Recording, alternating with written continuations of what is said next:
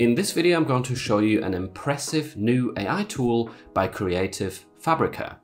I'll demonstrate how to use this tool effectively to create impressive images, as well as how to then upscale those images so you can use them in your t-shirt designs.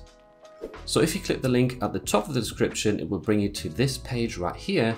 And this is CF Spark Creative Fabrica's new artificial intelligence image generator. And the cool thing about this is that you can use it and try it out totally for free. You don't even need a Creative Fabrica subscription or a CF Spark subscription. Now there's some differences between the two and I'll go into that later on in the video. But basically click the link, create an account on Creative Fabrica. You don't even need to sign up to any trials or whatever, and then you can use this generator and play around with it. So the way that most people use these AI generators is they just type in something generic like, um, I don't know, dog riding a unicorn. And then if you hit ignite, it will take a little while to generate those images. But if you keep it so generic, usually the result is, well, sort of amateurish, uh, as you can see, and not really usable in terms of print on demand products.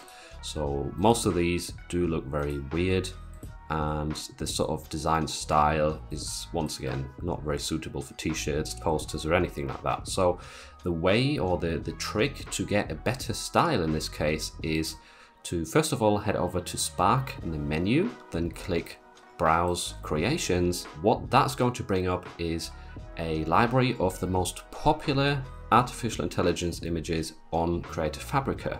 So if we scroll through these, you can always see um, what people have put into the search mask to get these results.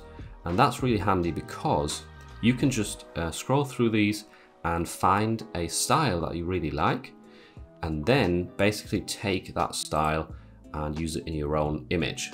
So let's say, for example, um, you really like the design style of this owl. So you could just take the text, there's a copy button right here. So copy the prompt, then head back to Spark, create designs,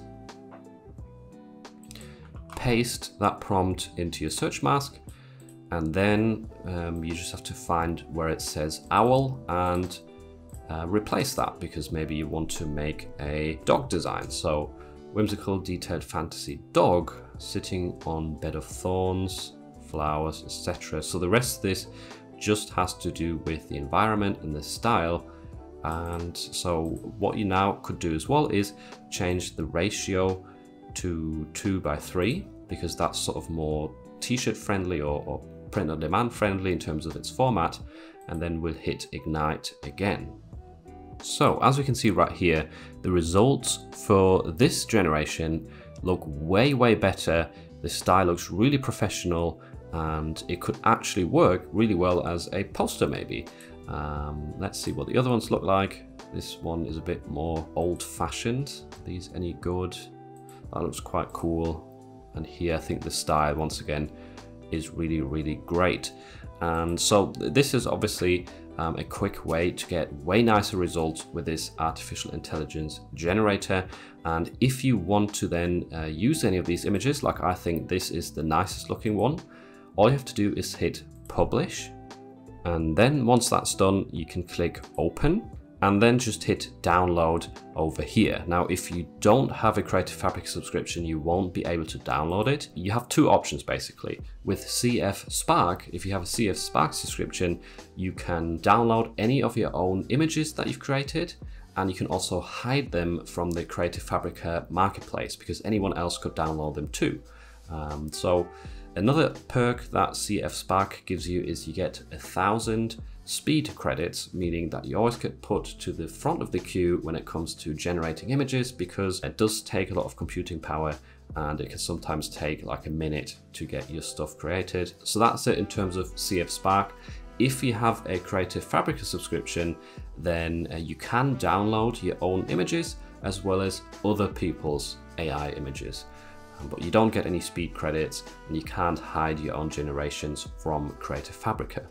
So in this case, I've downloaded our dog creation and I'm now going to jump into Illustrator to make sure that this is a high enough quality to be used on print on demand products. So now that we're inside of Illustrator, I've opened up a document right here in the typical merch by Amazon dimensions, uh, 4500 by 5400, and I'm just going to drop our image into here. Now, as you can see, this opens quite small because the file size is pretty small on these images. If we scale this up, uh, make it a bit bigger, and zoom in, you can see that it is very pixelated and it wouldn't really print that well.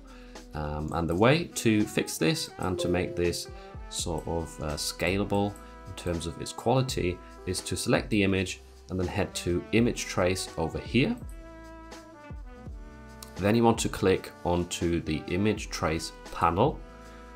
And if I draw this over, um, if you then change the preset from default to high fidelity photo, then it's going to load a little while and turn our JPEG basically into a vector, which is really nice because now it has lost that sort of grainy pixel texture and it's actually going to print more smoothly. So this sort of design is obviously more ideal for a poster sort of format or poster product.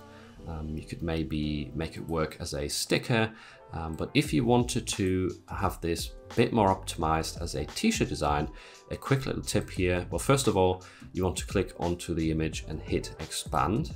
So this turns into um, um, a collection of paths and objects.